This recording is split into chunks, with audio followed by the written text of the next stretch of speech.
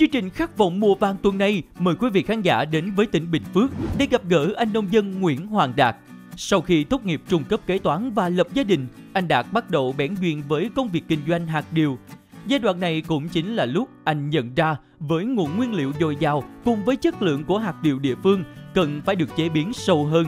và tạo ra những dòng sản phẩm độc đáo hợp khẩu vị người tiêu dùng. Nghĩ là làm, anh đã quyết định thành lập công ty trách nhiệm hữu hạn Vinahe với mong muốn đưa hạt điều của tỉnh Bình Phước giới thiệu đến người tiêu dùng khắp cả nước và thậm chí vươn ra thế giới. Để tìm hiểu câu chuyện khởi nghiệp của anh Nguyễn Hoàng Đạt, mời quý vị khán giả đón xem chương trình Khát vọng mùa vàng được phát sóng vào lúc 19 giờ 15 phút thứ tư ngày 6 tháng 9 năm 2023 trên kênh truyền hình Vĩnh Long 1.